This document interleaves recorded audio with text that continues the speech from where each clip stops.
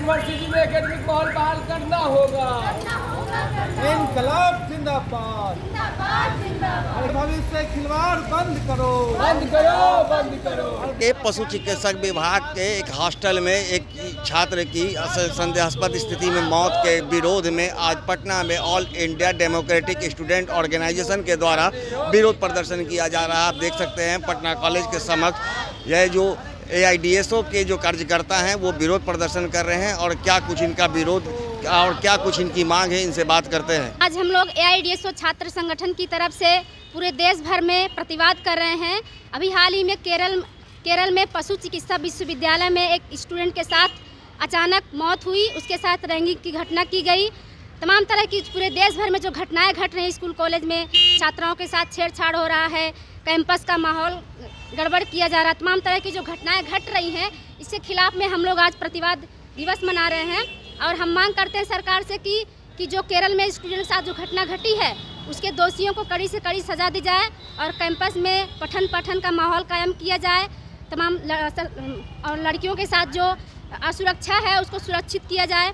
हम यही मांग करते हैं क्या लग रहा है? पहले जैसी माहौल किसी भी विश्वविद्यालय में नहीं रह गई है चाहे वो पशु विश्व विश्वविद्यालय का बात करें या फिर छात्र विश्वविद्यालय की किसी भी तरह में अब क्या लग रहा है? अराजकता का माहौल फैल गया है।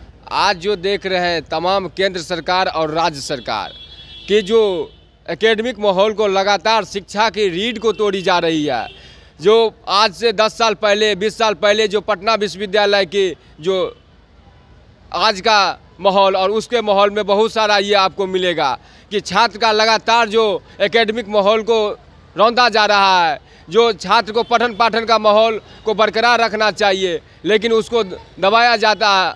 आज देख रहे हैं कि केरल की जो पशु पशु चिकित्सा विश्वविद्यालय का जो मामला है, वहाँ पे एक छात्र का जो पढ़ाई के लिए आया था, लेकिन उसको एक दूसरे संगठन के द्वारा उसका रैगिंग किया गया। रैगिंग का टॉर्चर इतना हुआ कि उसको मारते मारते उसका मार दिया गया। और आज देख रहे हैं कि किस तरह से कैंपस यूनिवर्सिटी में चाहे पटना का देख लीजिए या कहीं का देख लीजिए, पूरे भारत का आज विश्वविद्यालय का स्थिति एकेडमिक माहौल बदतर हो चुका है। इसी के लिए हम ए आज प्रतिवाद दिवस निकाले हैं। देखिए, इस तरह से बढ़ रहा है अत्याचार। छात्रों पर हत्या हो रहा है बलात्कार हो रहा है छात्राओं पर। इस तरह से जो बढ़ रहा है और हम लोग लगातार आंदोलन कर रहे हैं। लेकिन ये हम लोग को रुकना भी नहीं है आंदोलन को कर, करते रहना है। चाहे एक हो दो हो ये इस आंदोलन को आगे बढ़ाना है। और इस तरह से जो छा, छात्रों पर छात्राओं पर हत्याएँ होती है तो हम सरकार से मांग करते हैं कि उनको सुरक्षा की गारंटी करें। और रैगिंग हो रहा है इसको ये ये नहीं हो और उस तरह, उस तरीके से स्टूडेंट को शिक्षा दी जाए। सीनियर जो स्टूडेंट है, उन लोगों को इस तरह शिक्षा दी जाए कि इस तरह के स्टूडेंट पर हमला न करे रैगिंग न करे। जी, इसके पीछे जो हम लोगों का संगठन है, जो कारण समझती है, वो ये है कि अभी कॉलेज विश्वविद्यालय के अंदर में जो मूल्य आधारित राजनीति होनी चाहिए, हर स्टूडेंट ऑर्गेनाइजेशन को अपनी बात रखने का मौका होना चाहिए। यानी स्वस्थ लोकतांत्रिक माहौल होना चाहिए, ये नहीं है। जिसका नतीजा है कि आए दिन इस तरह की घटनाएँ घट रही है। अभी हम लोग केरला में जो माने वेटनरी कॉलेज और एनिमल साइंस यूनिवर्सिटी है, उसमें जिस तरीके के घटना हुई कि एक छात्र जो कॉलेज में यूनियन में चुनाव नहीं लड़ा तो उसको लेकर के वहाँ के एक छात्र संगठन ने उन पर दबाव बनाया, उनके साथ ज्यादती की और अंततः वो, माने उसकी मौत रहस्यमय ढंग से हुई है। तो इस तरह की जो घटना है, ये कोई एक घटना नहीं है किसी कैंपस की। हम लोग देख रहे हैं कि कुछ ही दिन पहले आईआईटी बीएचयू में एक लड़की के साथ किस तरीके से जाति की गई, उनके साथ छेड़खानी की गई यहाँ जादवपुर यूनिवर्सिटी में हाल के दिनों में ही एक स्वप्नदीप नाम का लड़का वो सुसाइड करने को विवश हुआ। तो इस तरीके की जो घटनाएँ लगातार घट रही है, ये निंदनीय है। इसका हम विरोध करते हैं और साथ ही साथ हम ये मांग करते हैं कि कैंपस में एक स्वस्थ लोकतांत्रिक माहौल कायम होना चाहिए।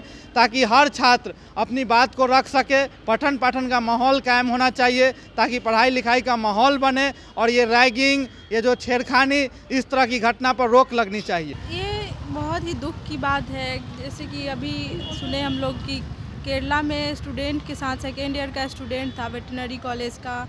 और मतलब कि इस तरीके से वो जो न्यूज़ में देखा गया है कि वो वॉशरूम में वो हैंग किया गया था उसके बॉडी पे चोट का निशान था।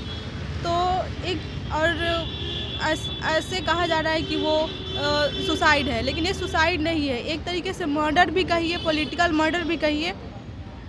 इस तरीके के और सबसे बड़ी बात है कि वहाँ पे उसका पोस्टमार्टम कराना चेकअप कराना ये सब भी नहीं किया गया नॉर्मल लिया गया।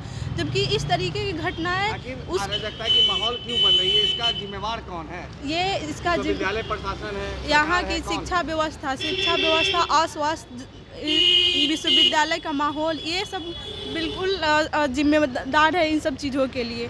और ये हम लोग आज इसको शौक की तरह मना रहे हैं स्टूडेंट का क्योंकि ये अक्सर यूनिवर्सिटीज़ में देखा जा रहा है आज कल बीएचयू में हुआ आज करला में हो रहा है कल कहीं और आए दिन सुनने को मिल रहा है लेकिन इस तरीके की घटना पर मतलब कि सरकारें को रोक लगाना चाहिए। यहाँ पे भारत सरकार राज्य सरकार को इसकी ज़िम्मेदारी लेना चाहिए कि स्टूडेंट कैंपस में है विद्यालय में है विश्वविद्यालय में वे सुरक्षित रहे। इस, इस, इसलिए आज हम संकल्प लेते हैं कि अ, हम लोग आंदोलन करेंगे और सरकार को हमारी बात माननी पड़ेगी।